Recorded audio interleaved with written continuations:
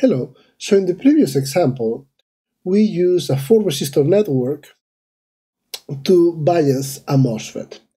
And since we had centered the gate, we could use this also to create a common drain amplifier, also known as a source follower.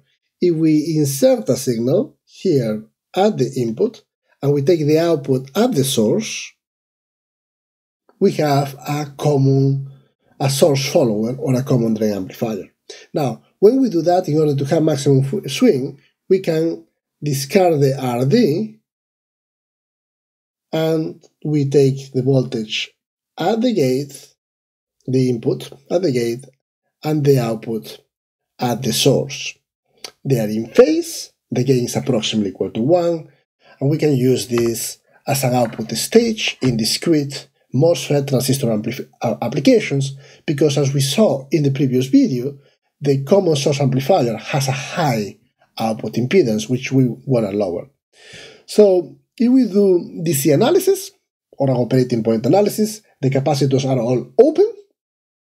And so what is the voltage at the gate in this, this case? We expect um, 10 volts the, um, with a voltage divider of 10 meg and 10 meg, meg gives us 5 volts. 5 volts.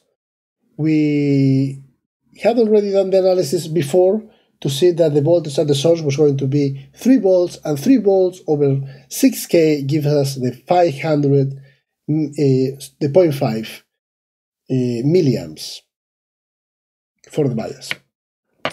Okay, so let's do a transient analysis and verify that if we take the output at the source, this is equivalent to the emitter follower in BJT technology or the common collector amplifier, meaning the input is at the gate, the output is at the source, we have no gain, in fact, we lose a little bit of gain, it's less than 1. Oops, let's run the transient analysis.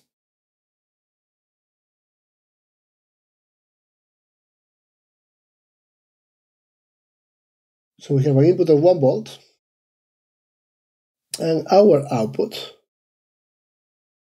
is slightly less than 1 volt, but we can drive loads that are much lower than what you will be able to do with a common um, source amplifier. So this can be used as an input stage or as an output stage.